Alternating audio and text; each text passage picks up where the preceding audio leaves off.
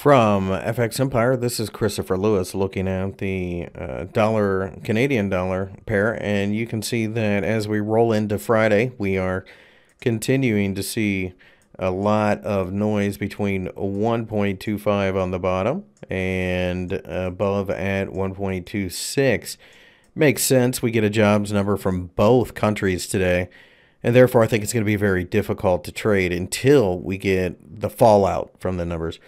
Uh, I'd wait at least a few hours after the announcement to put uh, money to work because I think if the 130 level uh, will be target above the 126 handle, a move below the 1.25 handle, uh, then uh, we probably go to 1.20. But again, I'd probably even wait for the daily close.